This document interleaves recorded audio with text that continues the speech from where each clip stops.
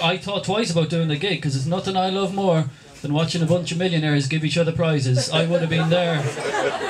And then every time they get the prize, they lose their shit. Like they can't keep it together. They lose their shit, crying and stuff during the speeches. And I'm just sitting there thinking, you're being celebrated as the greatest actor of the year.